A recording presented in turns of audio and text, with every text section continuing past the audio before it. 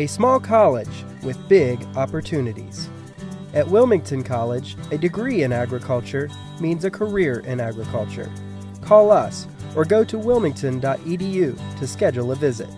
We hope to see you soon. The 85th Ohio FFA Convention second general session has just concluded.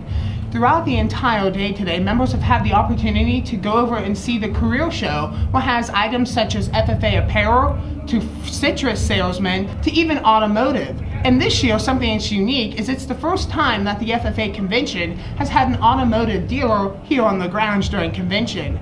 Coughlin Automotive out of London, Ohio has had several vehicles and trucks here and FFA members enjoy getting their pictures taken with the newest models of GMC and Chevy vehicles. Many FFA members were recognized on stage in front of 5,000 FFA members. Seven of these members even were awarded at the national level for winning their proficiency areas, as well as our Stars over Ohio. The Star Agribusiness winner was Elizabeth Hayes from Marysville FFA chapter, specializing in equine production. The Star Agricultural Placement winner was Jacob Wilson from the Fairbanks FFA chapter, working on JCW Farms. And finally, the Ohio Star Farmer, Austin Whipple from the Westfall FFA chapter. 22 Proficiency Award winners were announced at this session. Everything ranging from wildlife management to fiber and oil production, as well as organic agriculture. One Spylight member that I found was Jessica Zerker, who was the winner of the poultry production category.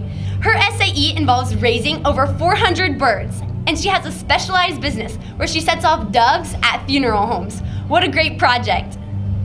And the keynote speaker for this general session was Josh Shipp. Josh has grown up in many different foster homes, and they weren't lying when they introduced him as a combination of Dr. Phil and a comedian.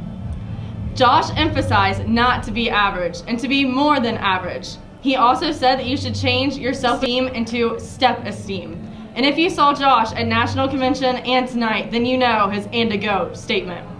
And these are a few of the highlights here from the second general session at the 85th Ohio FFA Convention.